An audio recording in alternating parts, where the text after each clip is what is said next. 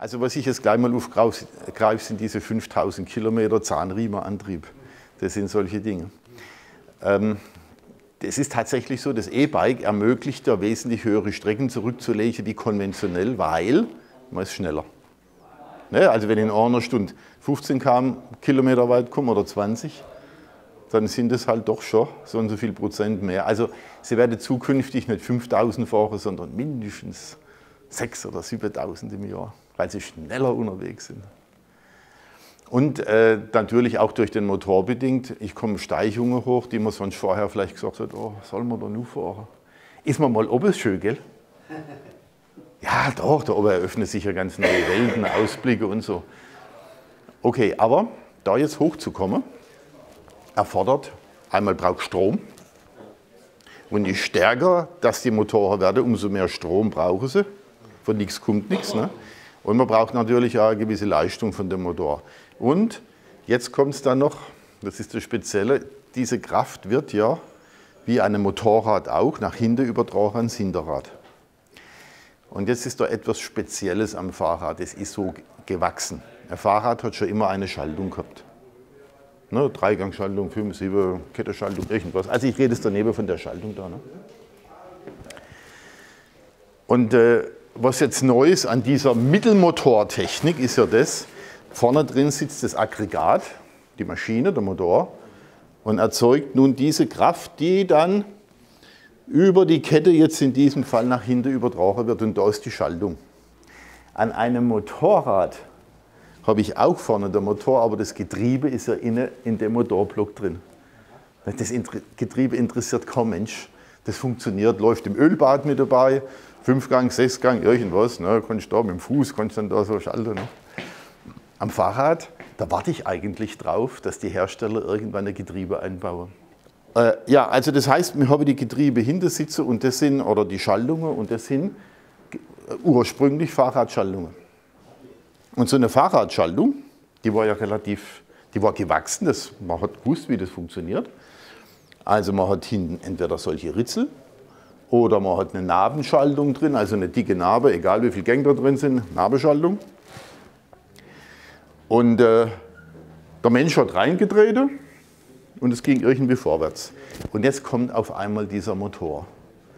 Und dieser Motor, der verstärkt die eigene Drehkraft bis zu 300 Prozent am Berg. Das heißt, da musst du dir jetzt mal vorstellen, da sind jetzt vier Leute und die treten daneben kräftig nahe in die Pedale. Was passiert? Die Kraft muss über diese dünne Fahrradkette übertragen werden ins Getriebe rein.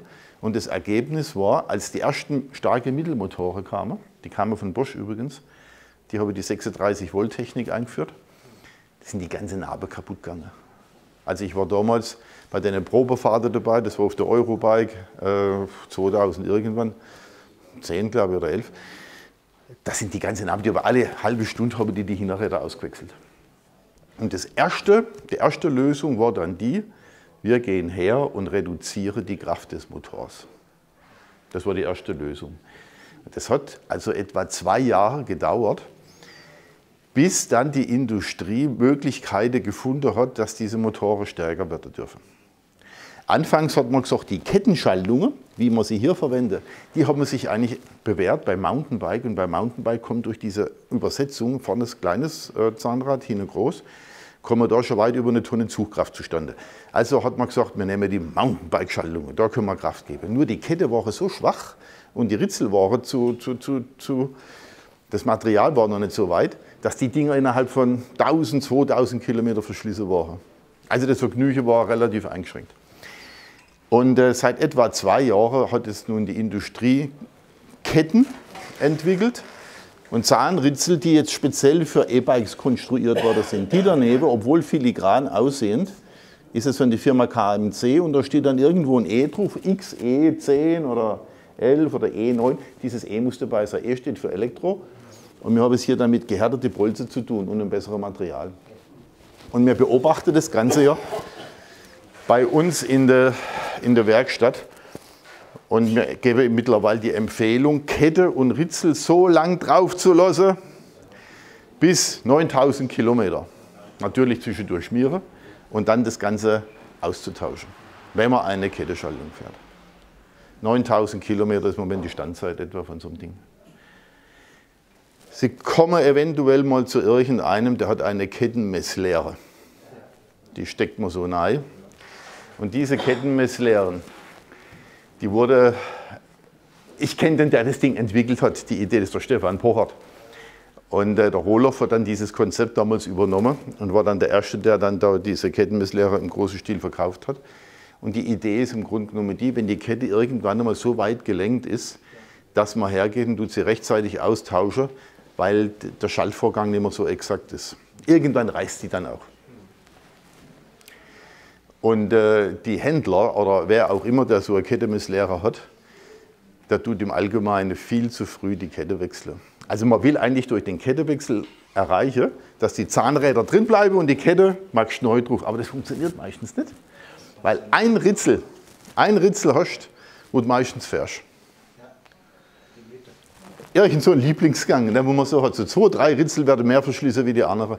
Und dann hat man das Ergebnis, magst du eine neue Kette drauf, meinst du, bist rechtzeitig dran und dann mit der neuen Kette kracht es dann in den Ritzel drin, die verschließen sind. Also war das Ganze auch wieder nichts, dann musst du alles rausschmeißen, wird es teuer. Aus dem Grund 9000 Kilometer und dann den ganzen Lade weg. Die andere Entwicklung war die, ähm, die Nabenschaltungen weiterzubauen. Nabenschaltungen haben den Vorteil, sie sind einfach geschützter. Ne? Daneben kommt Schmutz, Dreck hin, diese filigrane Kettle da. Äh, da, da, musst du immer gucken, dass die gut gepflegt sind und äh, es kann auch mal ein Schlag drauf kommen auf das Schaltwerk zum Beispiel. Oder man tut es ins Wohnmobil einladen und dann bleibt man hier hängen und dann reißt man daneben das Ding dann auf einmal zurück und dann biegt es weg und dann ist vielleicht kaputt. Aus dem Grund machen Narbenschaltungen durchaus Sinn. Also das heißt nicht Narbe, sondern Narbe. Wird zum Teil oft falsch geschrieben. Daneben haben wir jetzt eine Nabenschaltung. Das ist ja immer drum. Daneben ist auch ohne drin, ist ein bisschen kleiner. Eine Nabenschaltung, da findet eben durch ein Planetengetriebe oder durch mehrere, findet innen drin ein Schaltvorgang statt. Da werden dann Getriebe ineinander reingeschoben und so. Und Nabelschaltungen waren von Anfang an, wie ich schon gesagt habe, die waren eigentlich zu schwach ausgelegt. Und die erste Nabelschaltung, auf die man richtig aufmerksam wurde, ist, das ist die Nu Vinci. Nu Vinci kommt, der Begriff kommt von wem? Von Da Vinci. Ja, der Da Vinci, der hat im 15. Jahrhundert hat er sich einmal hingesetzt und hat dann da so eine Skizze gemacht das konnte leider keiner nachbauen. Da habe ich gesagt, du, du musst später kommen, jetzt können wir es noch nicht. Und im 20. Jahrhundert ist dann dieses Getriebe, hat dann praktisch ist nochmal neu erfunden worden und wurde dann eingesetzt in, heute in Maschinen drin, in stufenlose Planetengetriebe und solche Sachen, brauchst du überall. Und ein Amerikaner hat vor einigen Jahren sich überlegt, das könnte man auch ins Fahrrad einbauen. Ich habe damals schon, ich habe die kennengelernt in der Schweiz, da habe ich damals in einer Ausstellung, habe ich meine Fahrräder da gezeigt. Und da bin ich mit einem Probe gefahren, nicht in einem E-Bike, in einem konventionellen Rad. Und dann habe ich die Nachteile von dem Ding gemerkt, nämlich es ist tatsächlich ein höherer Tretwiderstand. Also es ist ein Reibungsverlust in dieser Narbe drin. Das merkst du als konventioneller Fahrradfahrer, merkst du das. Und dann habe ich mal hin und her überlegt, mich mit den Leuten unterhalten. Und dann habe ich aber verstanden, dass das Ding große Kräfte aufnehmen kann. Und die haben damals das noch nicht kapiert gehabt, dass das irgendwann einmal in E-Bikes relevant wird, die einen Mittelmotor haben. Damals gab es nur 26 Volt von Panasonic und so. Und ich habe das dann sehr genau beobachtet, was passiert. Und nachdem dann Bosch kam, habe ich dann die ersten Räder mit Nuvinci schon bauen lassen. Da war ich ganz weit vorne. Und äh, das ist genau das, für was das Ding eigentlich geeignet ist. E-Bikes mit Mittelmotor. Weil ob da ein bisschen schwerer oder weniger, das, das ist fast egal. Man spricht vielleicht so von 5 bis 7 Prozent äh, Energieverlust, das ja auch in Form von weniger Reichweite sich bemerkbar macht. Das wäre also jetzt von 90 Kilometer Reichweite, wo man mal sagen, hast du dann halt 90, dann hast du dann halt vielleicht 83, 84. Wenn man da damit leben kann. Wenn man unterwegs mal aufladen kann. Und es gibt ja auch noch was die nächste Lösung, ist zwei Batterien dann mit Neid zu tun. Also die Nuvinci-Schaltung gilt als extrem verschleißfrei, als wartungsfrei. Und sie hat von der Übersetzung hat sie eine unglaubliche Entfaltung. Also eine Kettenschaltung, jetzt kommt er langsam dahin mit einer großen Ritzel, das schwarze Ding da, ne? das zeigt uns, dass es noch einmal ein Berggang ist, also es wird angedeutet. Und mit diesem Berggang erreicht diese Kettenschaltung erstmals die Entfaltung von einer Vinci-Schaltung. 380 Prozent sind es. Also die schlechteste die Narbenschaltung, oder? Die am wenigsten Die 7- und 8-Gang-Schaltungen, die ist noch die Nexus oder auch da gibt es noch eine 11-Gang-Schaltung. Diese Getriebe sind alle nur für Fahrräder konstruiert. Das heißt, wenn man da mit so einem stärksten Motor oder mit egal welchem kommt, der Motor darf maximal 50 Newtonmeter leisten. Und das machen die ganz einfachen Motoren. Also das macht eigentlich jeder heute. 50 Newtonmeter, wobei da kommst der Berg, da musst du manchmal doch ein bisschen mühsam hochkommen. Sobald man in den Bereich Leistungsmotoren geht, Performance, hört sich gut an, ne? Performance, Leistung, Bosch, Performance CX oder noch mehr. Das noch, die haben jetzt noch einen EMTB-Modus, weiß der Himmel, das Ding, das rennt los wie verrückt. Also, so eine Narbe, die, die ging in 0, nichts kaputt. Das heißt, die Motoren müsste gedrosselt werden. Also es macht überhaupt keinen Sinn, einen Performance-Motor und eine Narbenschaltung zu verbauen. Wenn man aber aufmerksam ist und guckt sich da mal um draußen, sowas wird angeboten. Weil die Hersteller versuchen durch, das haben sie schon früher gemacht, ne? da haben sie dann äh, Fahrräder gebaut, da stand Shimano XT-Schaltwerk und der Rest war aus billiger Gruppe. Hauptsache XT-Schaltwerk, nicht? Die Leute gucken hier, oh, ja, also XT-Schaltung drin. Aber dass es nur ein Teil dieser Gruppe ist, hat eine Corner gesagt. Genauso ist es mit den Performance-Motoren. Oh, da ist ein Performance-Motor drin. Ja gut, aber da nützt ja nichts, wenn eine schlechte Schaltung drin ist. Also die 7- und 8-Gang- und 11-Gang-Narbe von Shimano haben bei mir im Haus nur eine geringfügige Bedeutung. Das ist für die Leute interessant, die, wollen wir mal sagen, hm, äh, wenig die Berge hochfahren, Leichtgewichte vielleicht. Ne? ne? Es gibt ja so Frauen, die fliegen hoch mit ihren 60 Kilo, fliegen die der Berg hoch, die brauchen ja gar nicht so die Kraft. Aber je schwerer man wird, ne? also Männer, also ich werde auch alle Jahre ein Kilo schwerer, das ist, ich weiß auch nicht warum. Das ist mit, mit dem Alter nimmst du zu, weiß auch nicht. Obwohl ich immer weniger esse, gell? Ha? Mit dem falschen Rad unterwegs. Ja. Der Motorausbau. Ja, also darauf führe ich das natürlich auch zurück. also der Elektroradfahrer ist nicht der dünnste und der leichteste. nee, es ist wirklich so, äh, du brauchst schon, der Stoffwechsel ändert sich, ne? du brauchst immer weniger Essen, was eigentlich schön ist. Ne? Essen ist so schön, wenn es schmeckt. Und dann äh, wirst du immer schwerer dabei. Wie ist denn die äh, Luigi-Schaltung vergleichbar mit den sonstigen Nabenschaltungen? Jetzt, wenn Sie sagen, 8 Gang, 7 Gang, 11 Gang und so weiter. Kann ich Ihnen sagen. Wie, wie ist das vergleichbar? Also ich habe die Entfaltung, ich rede jetzt von der Entfaltung in Prozent. Ja. Weiß jeder hier, was die Entfaltung ist? Ich, ich erkläre es geschwind. Das ist ganz einfach. Die Entfaltung ist der Unterschied der Wegstrecke von der leichtesten oder der, oder der schnellsten oder schwersten Übersetzung. Also das heißt, wenn ich jetzt daneben da bei meiner Schaltung der leichteste Gang schalte und mache eine Pedalumdrehung, dann lege ich mit der kürzesten Strecke vielleicht 1,90 Meter zurück. Und wenn ich dann der schwerste Gang schalte, bei einer Pedalumdrehung sind es dann 8 Meter irgendwas.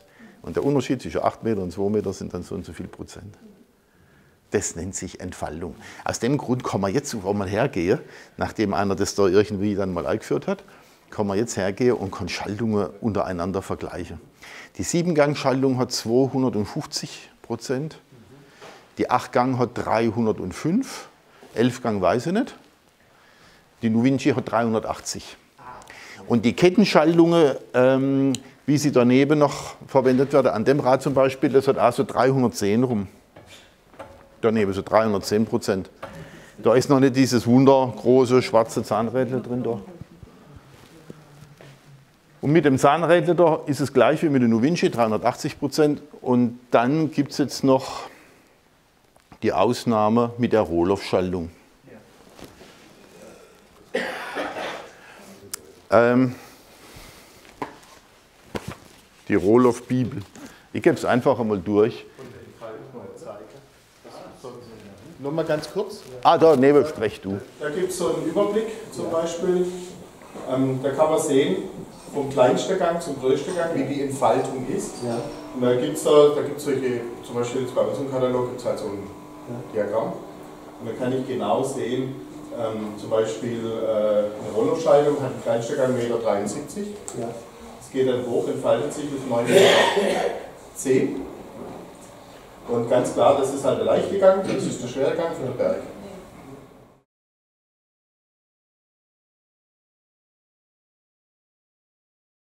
Roloff, also ganz kurz was, Roloff ist erwähnenswert.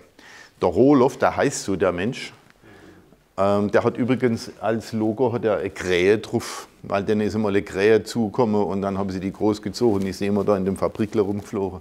Aus dem Grund. Ich habe übrigens einen Schmetterling, ne? Motte und die Motte, die Motte ist übrigens ein Nachtfalter, also die schlägt mir nicht da, die Motte. Das sind wieder andere Tiere, die in den Kleider sind. Ich fresse keine Kleider, sondern ich bewege mich lieber draus. Also der Roloff hat äh, irgendwann einmal festgestellt, man braucht als Fahrradfahrer mindestens eine Entfaltung von 500 Prozent und das müsse 14 Gänge sein. Und da hat der Mensch sich hingesetzt und hat so ein Ding konstruiert. Und es ist äh, nie mehr gelungen. Selbst die Shimano, die ziehen vor dem der Hut und sagen, wenn wir sowas machen täten, dann wäre die wesentlich größer und schwerer, unsere Narbe, als die, wo jetzt der Roloff da entwickelt hat. Das wird in Kleinstserien gebaut. Ich war jetzt dort in der Fabrikation gewesen und das, sind, das ist eine Handvoll Leute, 30, 35 Leute sind das. Und die arbeiten gemütlich, muss ich sagen. Gemütlich, also ne, nicht so Hektik und so, ohne Stress, stressless. und die machen das in einer Qualität, also sowas von äh, akkurat und da lässt man sich Zeit wirklich, um dass da jedes Ding ist ein kleines Wunderwerk. Und äh, diese Schaltungen, die sind, der hat sich irgendwie über Wasser gehalten. Von der Stückzahl her, da, da lachen diese anderen drüber, ne? Shimano, die, die, die sagen, was wollen wir denn mit den Stückzahlen? Da denken wir nicht immer drüber nach. Also, wie gesagt, der Roller hat das gebaut, es hat dann tatsächlich auch irgendwann funktioniert. Es läuft in einem Ölbad. Also wir haben da drin ein minimaler Reibungskoeffizient, weil Fett wäre jetzt zum Beispiel etwas schwergängiger, also das Öl läuft wesentlich leichter. Und erstmal der Vorteil ist der, das Ding ist gekapselt. Sitzt in der Narbe drin, kommt kein Dreck ran. Das nächste ist diese immens große Entfaltung. Und jetzt kommt der Vorteil beim E-Bike. Das lässt tatsächlich den stärksten Motor zu, den es derzeit auf dem Markt gibt. Und damit hat der Roller für eigentlich, der hat schon ein, ein starkes Getriebe damals sich gedacht, aber dass es mal E-Bikes gibt mit Mittelmotor, so weit hat er also auch nicht seine Vision gereicht. Und er hat halt gedacht, wenn da Leute unterwegs sind, es gibt ja Menschen, die steigen aus oder nicht, die steigen aufs Rad und dann fahren die um die Welt rum und dann, wenn sie nicht erschossen werden oder sonst verhungern irgendwie, kommen die nach Jahren wieder an. Und diese Leute, hat, da hat sich das dann rumgesprochen, die fahren Rohloff. Ne, die musste mit Gepäck über der Himalaya und durch die Wüste durch und dies und das. Und das ganze Getriebe hat es immer ausgehalten.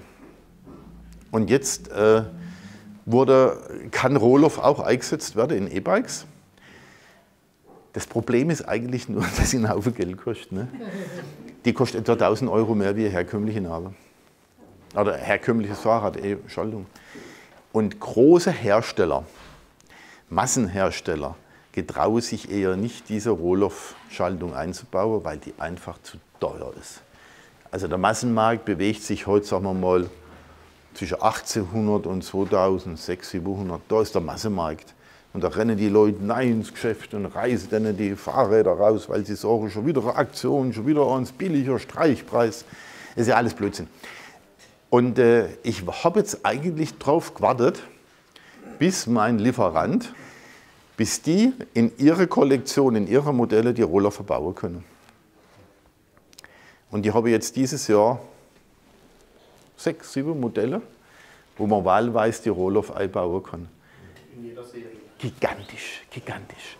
Und äh, das Interessante ist, ich kann jetzt noch kombinieren mit unterschiedlichen Motoren.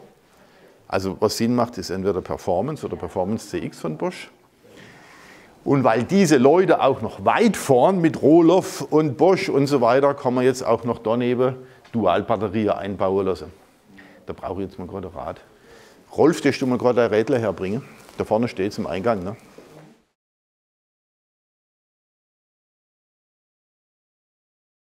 Ich habe ja noch nicht mal Probe gefahren. Mir kommt es eventuell vor, als wenn mir der Rahmen ein bisschen zu klein ist. Nee, nee. Meinst du? Der, der, der Rolf hat kurze B, guck dir mal. Ja, ja. Wenn das oder der Rahmen wäre zu klein, ne, der passt schon. Wenn der dir zu klein wäre, dann höchstens in dem Abstand. Wir machen dann da einen anderen Vorbau. Nein. Äh, Rolf, sag mal, was du schon alles gemacht hast. Jetzt die letzten ein, zwei Jahre mit deinem E-Bike, hat auch schon das Tauberrad.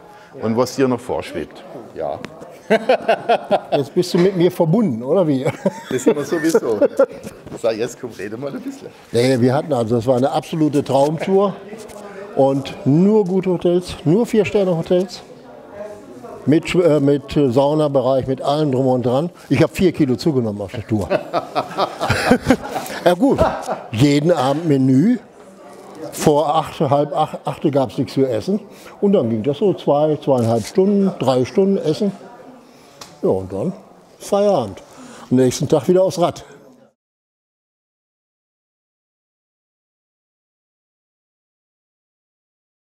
Also ich habe es vorhin erklärt, ähm, massentauglich sind diese Räder mit Rohloff nicht, weil zu teuer. Und der Rohloff-Kunde, der möchte jetzt entscheiden können, welchen Motor habe ich drin, welche Bremse habe ich drin, die Bereifung, die Rahmenform braucht er und äh, die Akkustärke zum Beispiel, eventuell noch die Farbe. Wäre auch noch schön, es gibt zum Teil Lieblingsfarbe, der eine will gelb und so. Und sowas kann eigentlich nur ein Hersteller leisten, der individuell, nicht in Serie baut, sondern Einzelfertigung.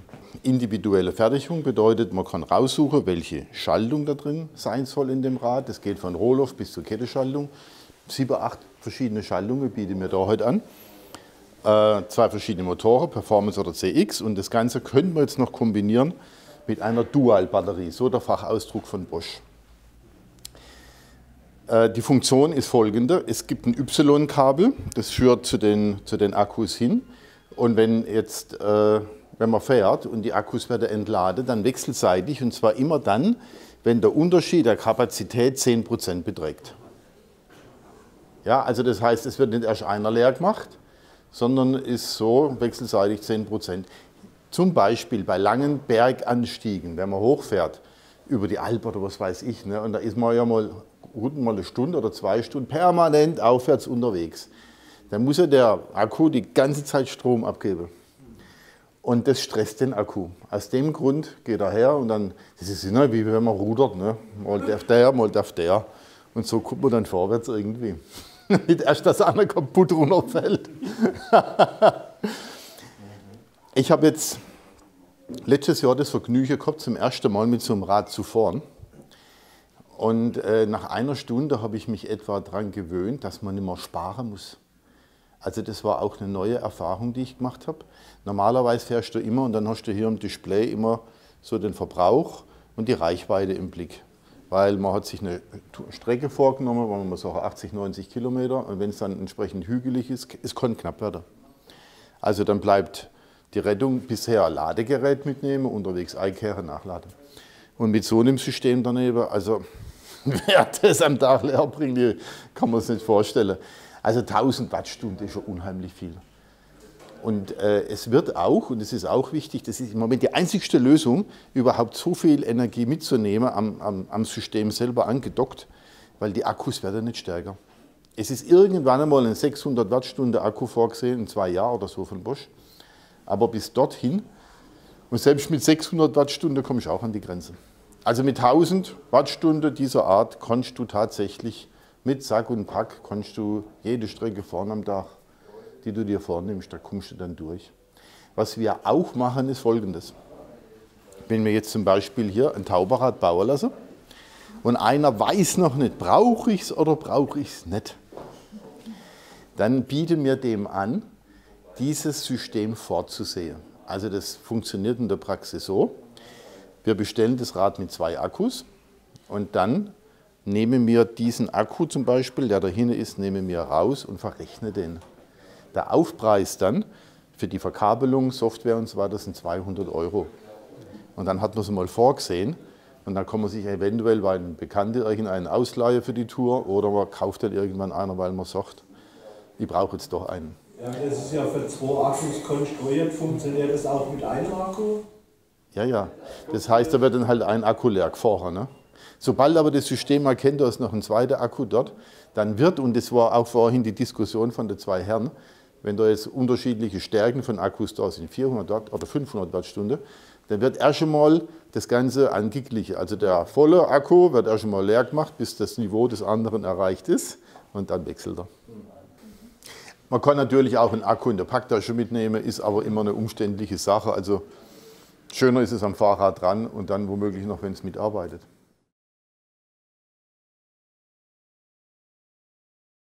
Also wenn ich eine Tour mache, dann äh, lasse ich im Grunde nur das Rad rollen. Ich, ich fahre vorausschauend. Es gibt auch Leute, Damen zum Beispiel, die sind auf der Bremse und bremsen, bis sie am Berg unten sind. Ne? Also die haben Angst einfach. Diese Woche gehabt, die hat der Berg dann runtergeschoben. Die ist aber 30 Jahre kein Fahrrad mehr gefahren gewesen, okay. Die gewöhnt sich auch noch dran, wieder runterzufahren. Aber das ist halt für vorsichtiges Fahrverhalten, sind diese Felgenbremse ungemein gut, weil sie überhitzen nicht. Die Scheibenbremse daneben sind für ein anderes Fahrverhalten ausgelegt. Und zwar sportlich heißt, ich lasse es den Berg runterrollen, hurra, schneller, schneller mitreden. Und dann freue ich mich über die Geschwindigkeit. Und dann kommt eine Kurve und dann bremse ich scharf an, gehe in die Kurve und lasse wieder los. Ich lasse das Ding rollen und ganz kurze, kurze Bremswege, ne? starke Bremsverzögerung, die brauche ich. Wenn Sie lange Berg abfahren, also ich habe mich jetzt mit einem Freund unterhalten, der letztes Jahr ist er mit seinem E-Mountainbike in die Berge und ist über die Alpe gefahren. Der hat gesagt, mir musste tatsächlich immer wieder anhalten, weil diese Bremsen überhitzt sind. Dann gibt es das sogenannte Fading. Das heißt, die, ähm, die Scheibe hier ist ja wesentlich kleiner wie die Fählche, also die Hitze kann sich nicht so schnell verteilen. Und dann entsteht auf diesem Bremsklotz dieser, dieses Phänomen, das wird weich und dann bremst das Ding nicht mehr. Also die musste immer wieder anhalten. Das ist interessant. Und die haben nach 500 Kilometer Alpin habe die neue Bremsklötze wechseln müssen. Also, äh, ja, ja. Und je besser die Bremse werde, also hier diese Scheibebremse, dann werde die zuletzt gesindert, da ist dann Metall drin, damit die Bremse, also die Wärme noch besser abgeführt wird und die dann äh, stabiler sind, also dass die Standzeit höher ist und solche Dinge. Es sind viele Fahrräder, also viele E-Bikes mit Scheibebremse von vornherein ausgestattet. Wir können doch wahlweise unterschiedliche einbauen von der Qualität.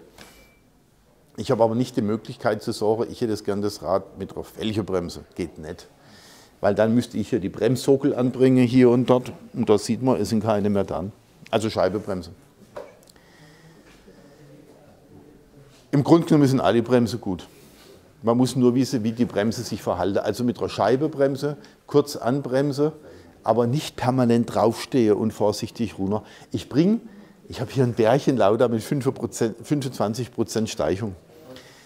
Und auf einer Strecke von 200 Meter bringe ich eine Bremsescheibe, also hier so eine Scheibenbremse bringe ich zum Fading, dass das Ding nicht mehr hält. Aber dazu noch was gesagt, und zwar mit den Felgen, das ist ähnlich.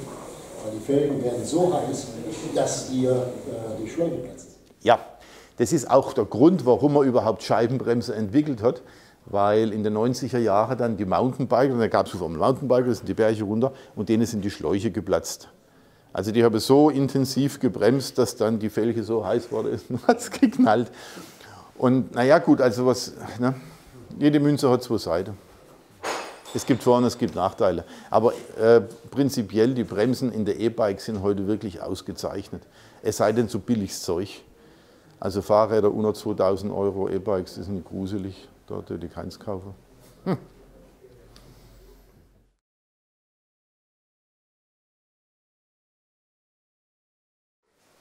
in dieser Evolution des, des Antriebes immer stärkere Ketten und äh, stärkere Narben und so weiter, hat man vor drei, vier Jahren äh, den Zahnriemen so weit entwickelt gehabt, vor allen Dingen Gates, das sind Amerikaner, die haben dann in der letzten Stufe haben die dann den Zahnriemen Carbon verstärkt, sodass das Ding nicht mehr gerissen ist.